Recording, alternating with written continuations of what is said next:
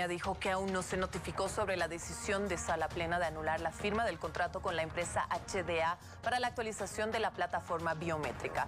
La autoridad informó que la decisión de Sala Plena se basó en las observaciones de dos vocales a tiempo de informar. Cinco votos decidieron la nulidad de la contratación y dos se opusieron. Y que su voto fue disidente por considerar que la empresa cumplió con lo establecido en el documento en base a contrataciones. Se informa que en las próximas semanas se lanzará una nueva licitación pública nacional e internacional.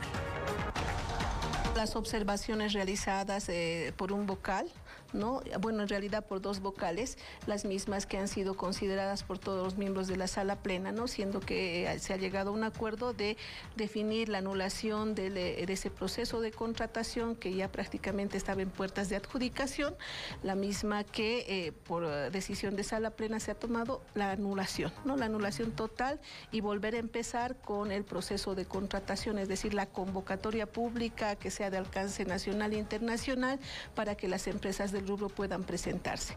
No, eh, oficialmente eh, la sala plena ha tomado esa decisión y por supuesto al ser un ente colegiado también ha habido esa posibilidad de ser votos disidentes. Hay dos votos disidentes contra cinco que decidieron la anulación. Usted es uno de los votos disidentes y quién más vocal.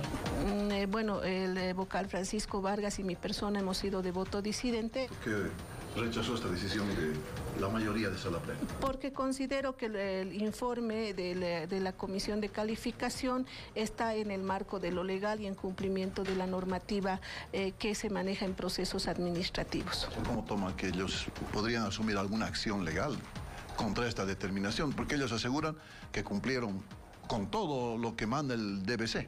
Bueno, la sala plena toma sus decisiones y se respetan las decisiones que se toma en sala plena, se respetan las disidencias y bueno, se comunican ¿no? los resultados y las resoluciones. Más allá de eso, yo soy miembro de sala plena y respeto el trabajo que realiza al interior de ella.